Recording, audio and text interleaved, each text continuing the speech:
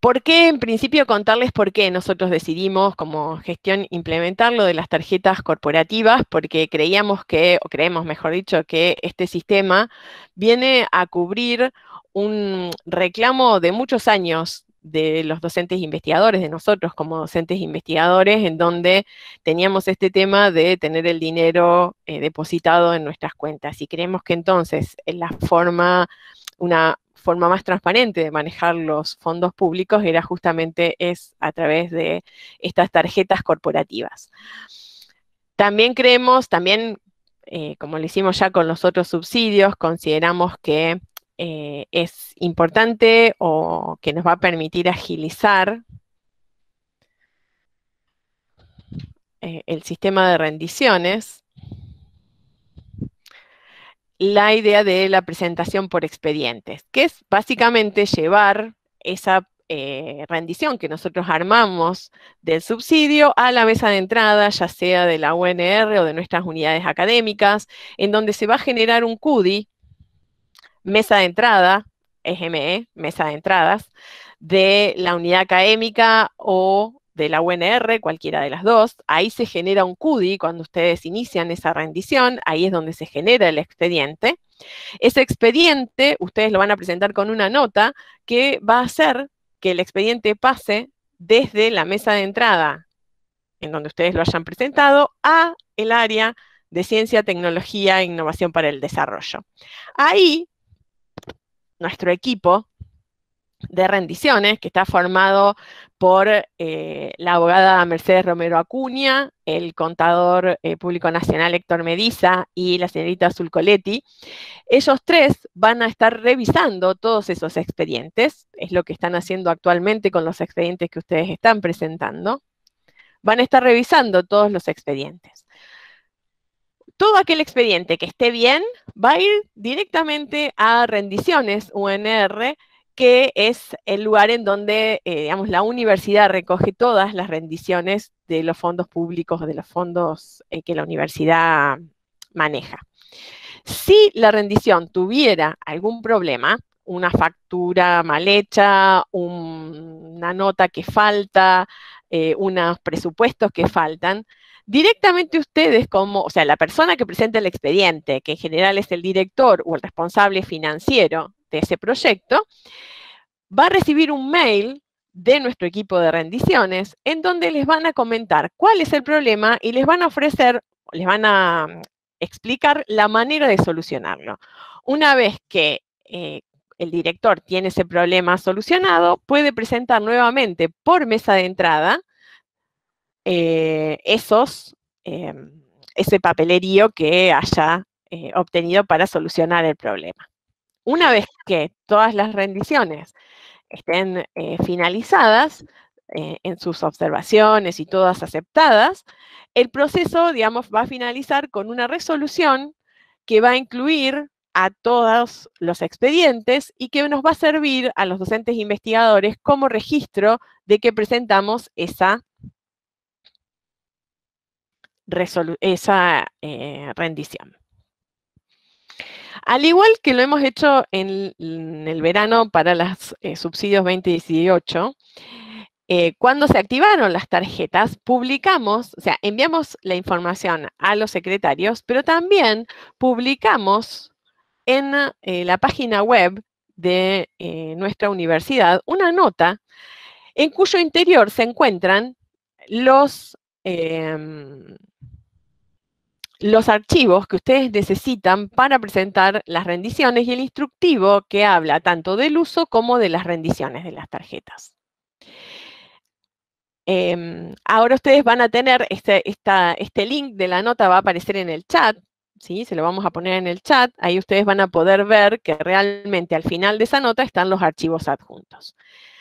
Em, también eh, les queremos eh, comentar que, eh, digamos, nosotros, en nuestra forma para poder llegar a la mayor cantidad de ustedes posible y que tengan toda la información que necesitan, estamos usando tanto, eh, digamos, estamos enviando mails a los secretarios de cada unidad académica con las explicaciones y con los archivos necesarios.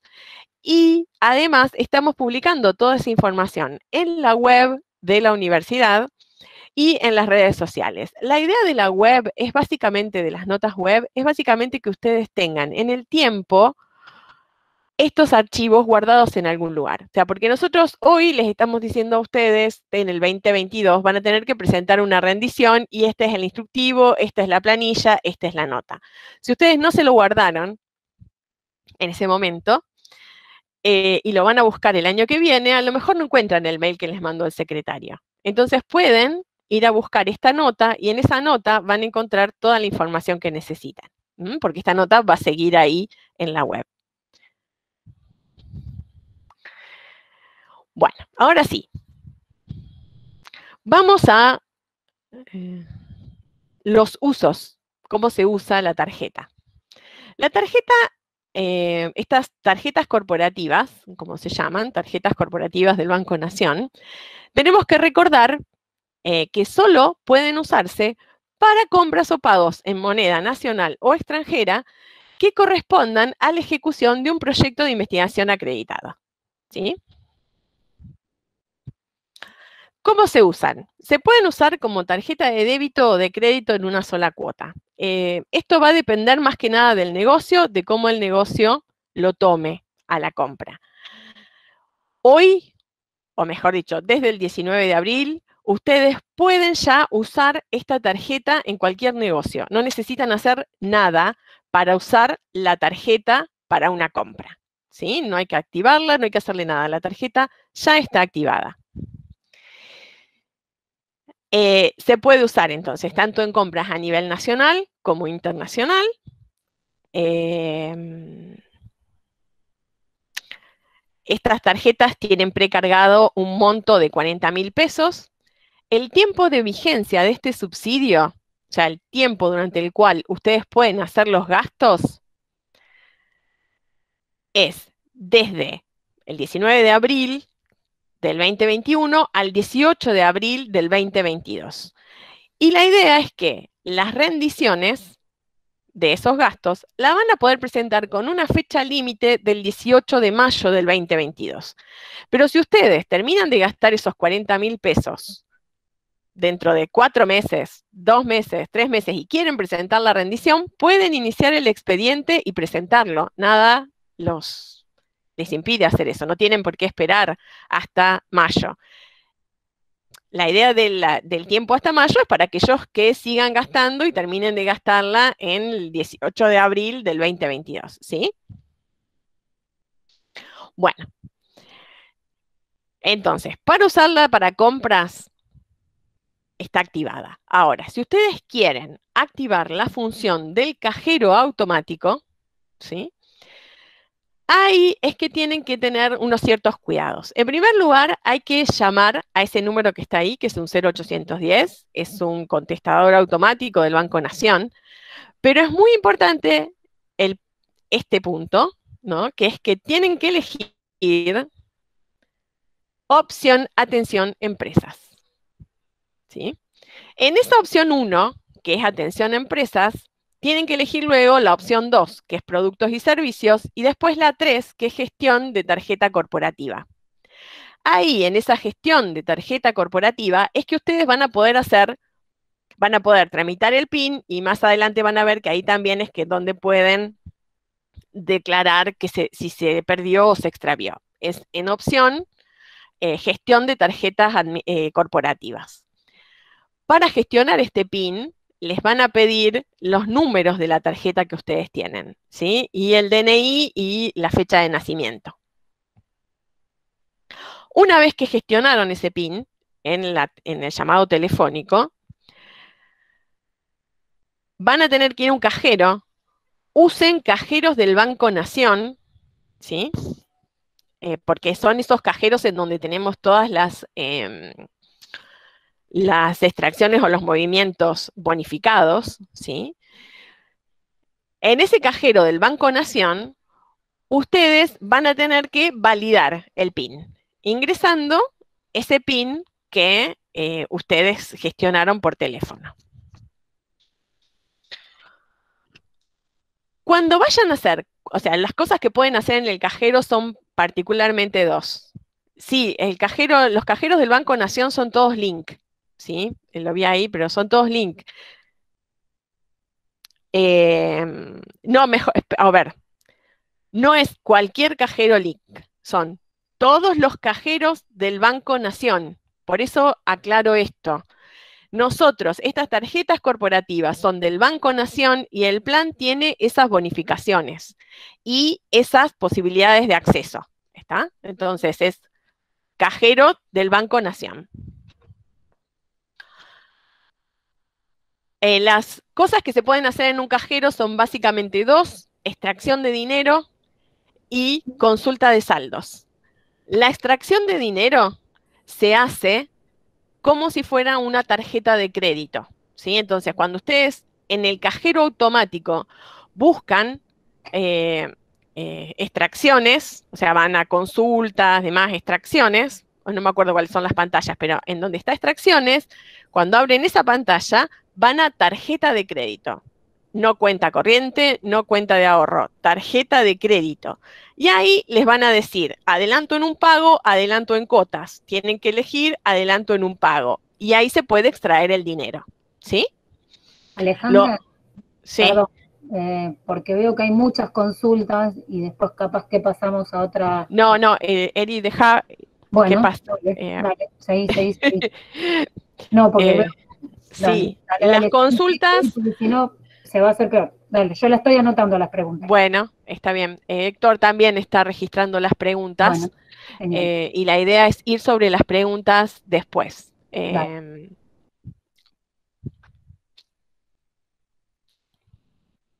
a ver, eh, no, perdonen. Ah, esto también es un punto importante. Si bien, digamos, yo les aclaré, son estas dos las cosas que se pueden usar eh, ah, en el cajero automático, extraer dinero y hacer consulta. El PIN específicamente no se puede cambiar aunque le habiliten. Parece como, les digo, o sea, es una experiencia personal. Yo quise cambiar el PIN y no lo dejan y después me enteré que no se puede. Parece como que lo cambia, pero no se puede cambiar con el cajero automático. Si necesitaran cambiar el PIN, tienen que volver a llamar por teléfono y cambiar el PIN por teléfono. Bueno. En relación a las compras que se pueden hacer, ¿sí? son eh, semejantes a las que se podían hacer eh, con otros subsidios, solo que em, están detalladas. ¿sí?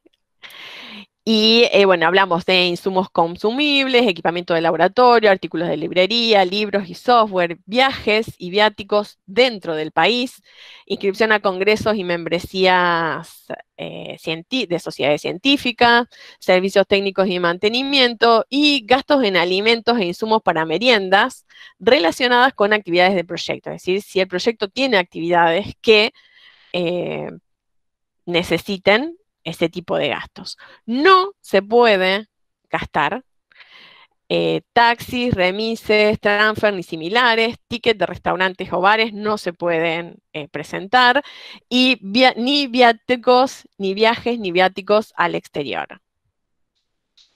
A ver, todos los comprobantes deben estar a nombre de la UNR y sé que la pregunta va a ser, ¿qué pasa con los congresos?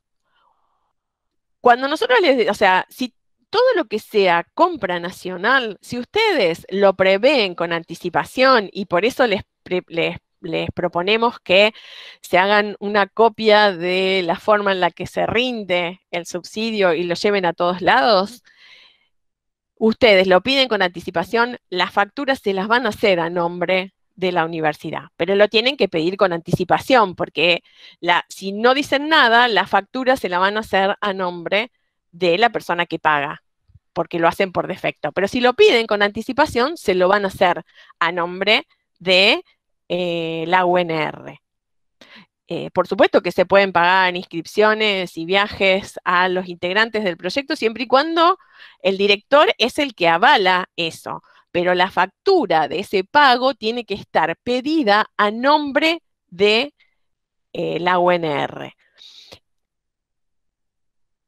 En el caso de que haya alguna cosa muy compleja, eh, por favor, eh, soliciten información antes y lo vemos eh, enviando un mail a rendiciones ciencias, rendiciones.ciencias, arroba unr edu.ar. pero en líneas generales, cuando ustedes lo solicitan con anticipación, se puede hacer la facturación a nombre de la UNR.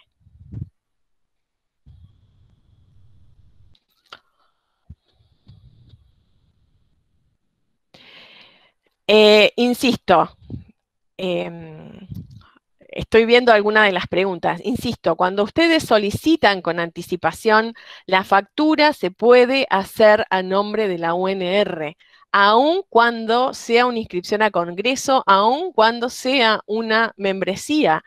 Es cuestión de solicitarlo con anticipación, o sea, de asegurarse que le van a hacer la factura a nombre de la UNR. Eh, se los digo como investigadora, yo lo he hecho, lo he pedido a las sociedades científicas, ¿sí? Aunque la persona eh, que va... Eh, aunque la persona no sea, digamos, a ver, como investigadora se puede solicitar y se lo hacen las sociedades científicas, los congresos. Bueno,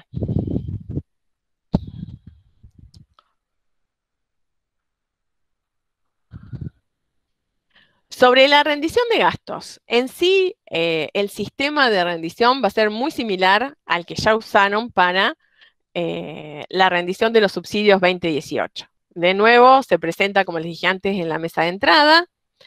La rendición, esa carpeta que ustedes tienen que presentar en mesa de entrada para iniciar el expediente, va a tener la nota de presentación, que ahora tiene la particularidad de decir subsidios 2019 y tener otro número de resolución, la declaración jurada de gastos, la planilla de rendición, eh, van a tener que ponerle, por supuesto, las facturas o comprobantes y si fuera necesario y corresponda, planilla de viáticos, planilla de comparación de precios. Recuerden que la declaración jurada y la planilla de la rendición, eh, igual que las planillas de viáticos, están en el archivo de Excel. Los comprobantes, de nuevo, los van a tener que organizar por fecha de emisión, firmados en el frente, y cuando folien este expediente que van a armar, esta carpeta que van a armar, la nota que le ponen al principio es la nota, es la número uno. Eh, recuerdo de otras presentaciones que algunas facultades tienen la particularidad de pedirles una nota extra. ¿sí? En todo caso, em, averigüen en sus mesas de entradas, porque eso son particularidades de algunas facultades de nuestra universidad. Y si les resulta más fácil, llévenlo directamente a la mesa de entrada de eh, calle Maipú.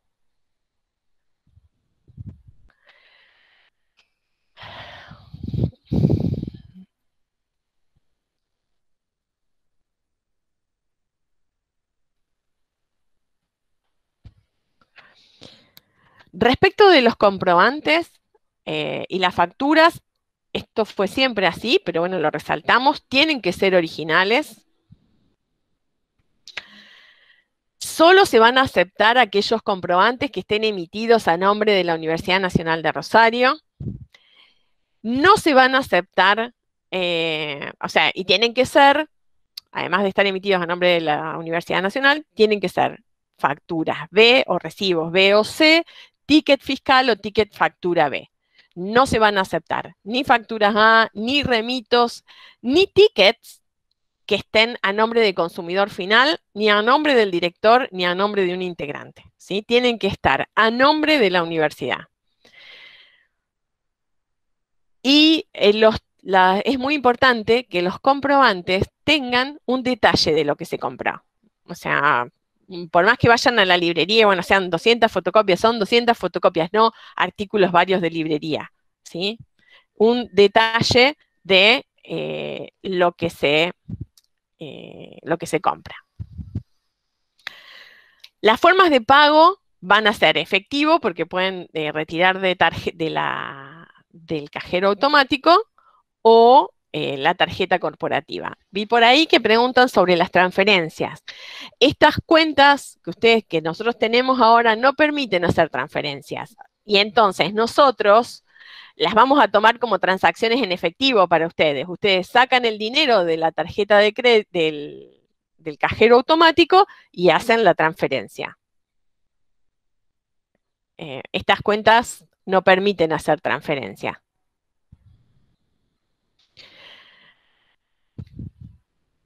Eh, la condición de pago.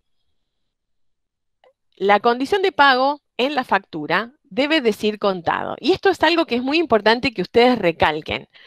No porque no se vaya eh, a aceptar si dice cuenta corriente u otros, sino porque cuando la factura en lugar de decir contado dice cuenta corriente u otras formas de pago, se les va a pedir que em, comprueben que lo pagaron. Porque en general cuando uno tiene una cuenta corriente es porque le dan la factura sin pagarla. Digamos, eso sería lo que significaría ese cuenta corriente. Entonces nosotros necesitamos saber que ustedes pagaron.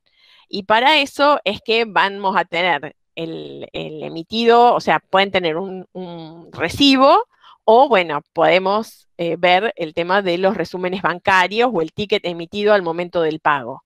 No, no es esta computadora. Bueno, recuerden que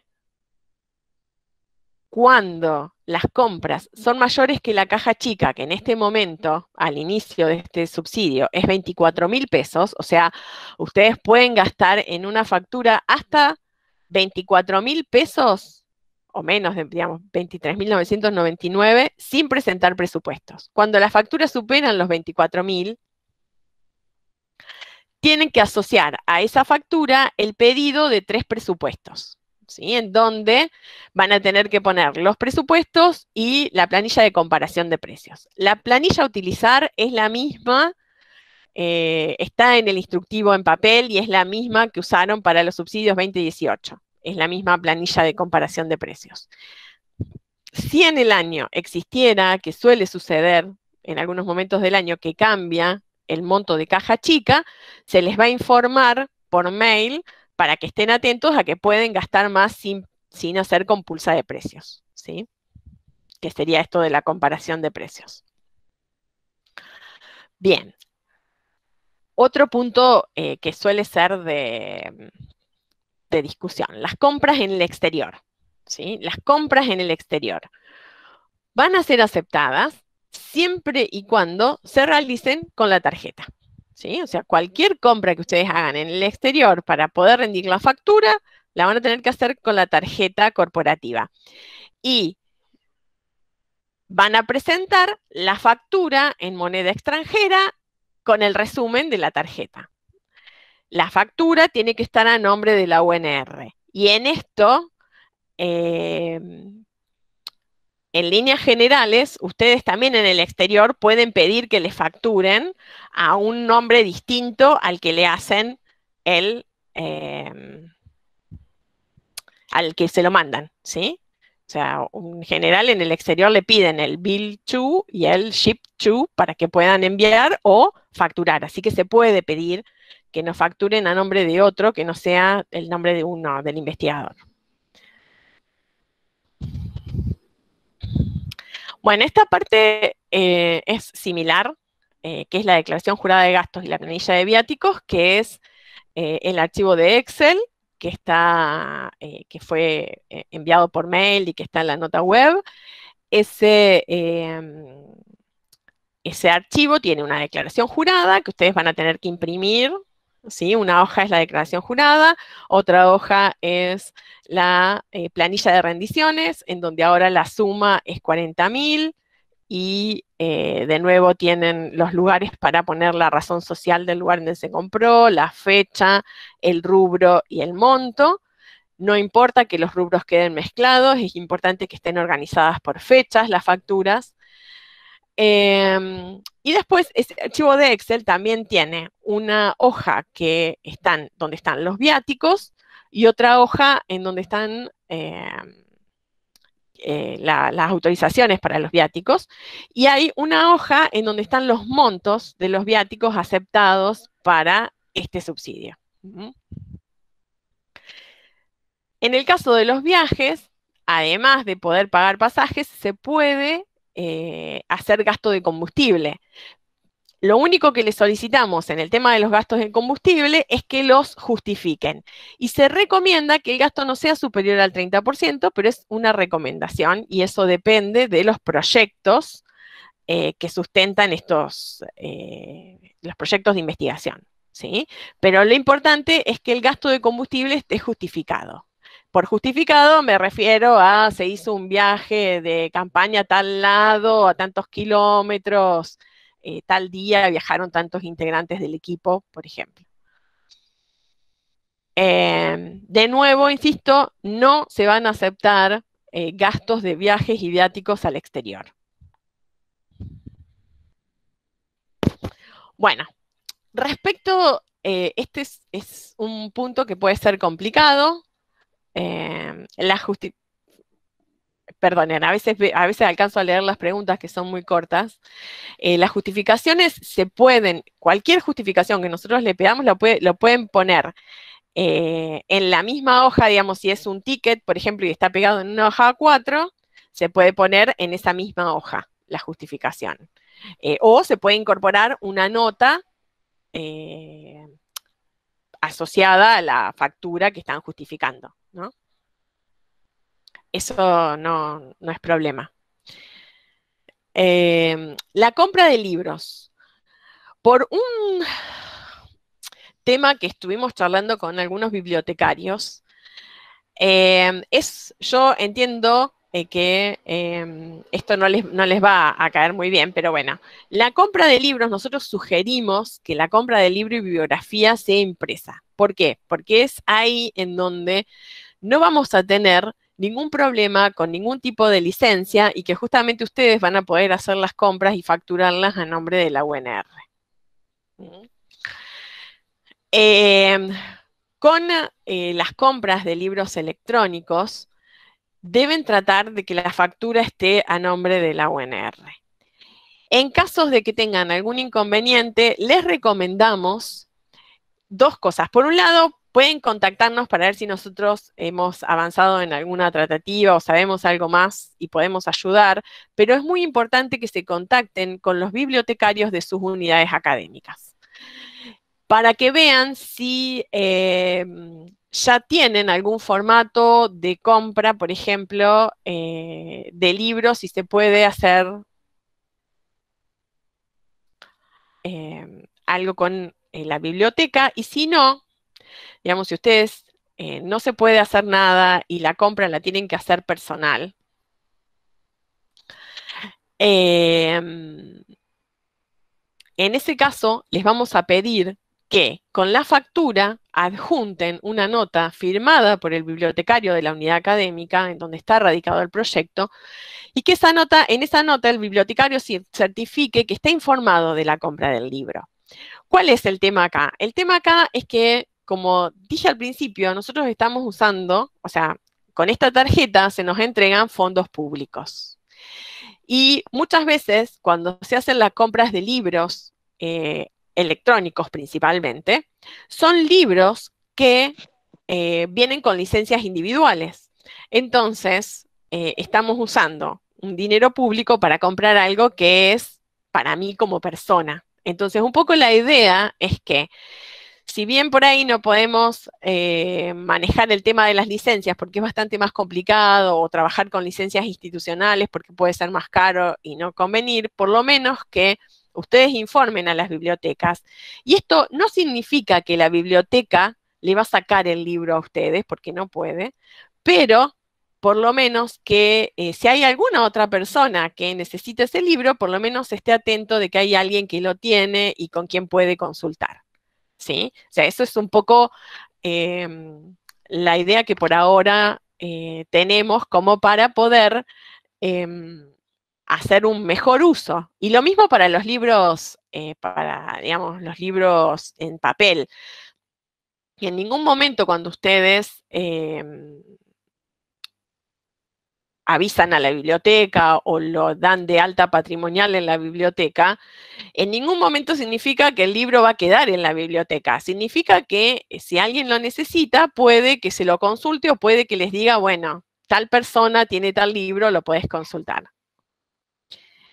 Em, sigue entrando gente.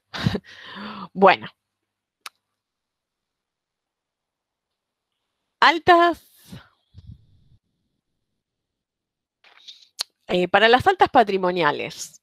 Em, en este caso, justamente hacemos tanto hincapié para que ustedes hagan las compras a nombre de la UNR, porque al hacer las compras a nombre de la UNR no hay que hacer ningún alta patrimonial. ¿sí? Las altas patrimoniales se debían hacer em, en los casos en los que las compras se hacían a nombre del investigador. ¿Sí? Pero al hacer las compras a nombre de la UNR no es necesario porque eh, ya es de la UNR lo que ustedes compren. ¿sí? Y en este caso estamos hablando, por supuesto, de eh, equipamientos, eh, más que nada, ¿sí? Equipamientos, libros, pero más que nada equipamiento, no insumos consumibles. Bueno, eh, esto un poco se los adelanté al principio, que es la pérdida en el caso de pérdida, robo, renuncia, jubilación o muerte del titular, que esperemos que no suceda, por supuesto. En el caso de cualquier circunstancia que haga que el director o el responsable financiero, a nombre del cual está esa tarjeta, se vea imposibilitado de cumplir su función, deben informarnos al área, específicamente a la Dirección de Promoción Científica. ¿sí? Y en el caso de pérdida o robo de la tarjeta, ahí tienen que informar al banco, al 0810, es el mismo número del PIN, y en la gestión de las tarjetas corporativas está la opción para denunciar. Y también nos tienen que informar a la Dirección de Promoción Científica para poder transmitirles una nueva tarjeta.